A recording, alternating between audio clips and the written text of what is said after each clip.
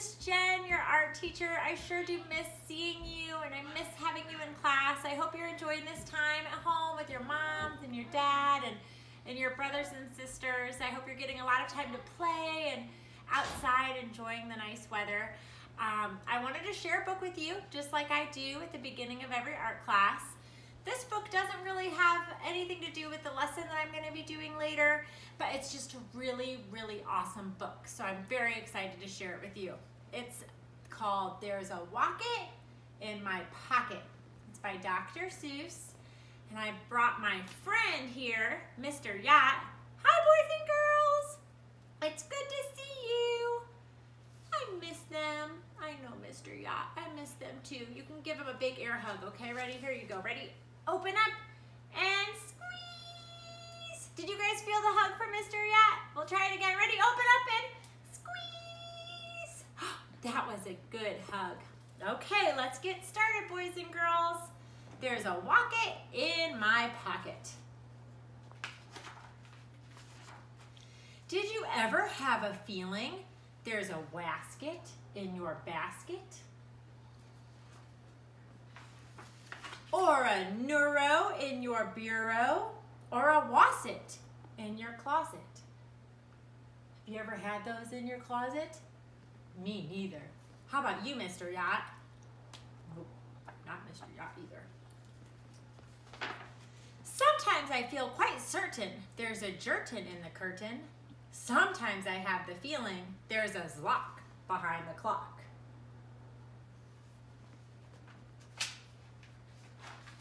And that Zelf up on the shelf, I have talked to him myself. Can you find the Zelf, boys and girls? Do you see him hiding? There he is, right there.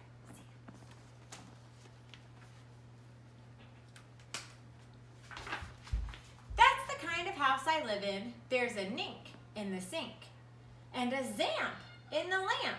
And they're rather nice, I think. They do look awfully nice, don't they? He's especially cute, isn't he?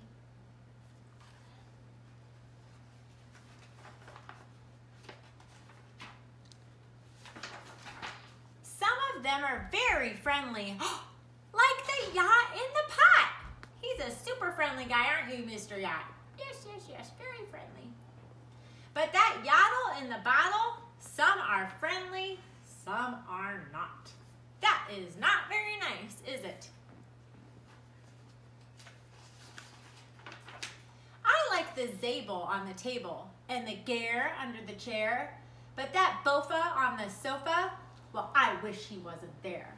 Mr. Bofa takes up a lot of space, doesn't he? And all those nubbers in the cupboards, they're good fun to have about. But the Noothgrush on my toothbrush, him I could do without. That is a very large thing to have on your toothbrush, don't you think?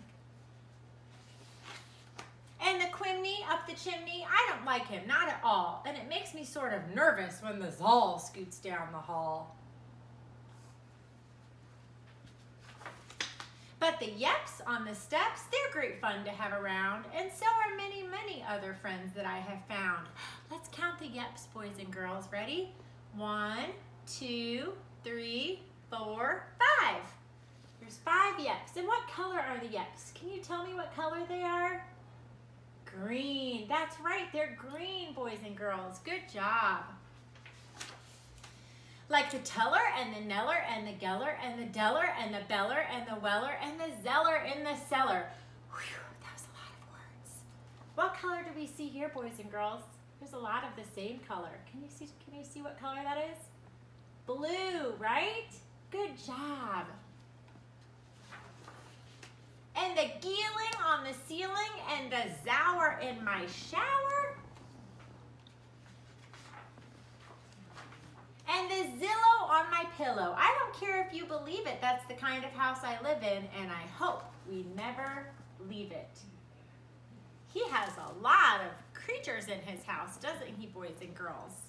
Well, thank you so much for listening to my story, Mr. Yacht, and I really did love love reading to you, and I hope you have a wonderful day, boys and girls. I miss you, and I hope to see you soon. Bye!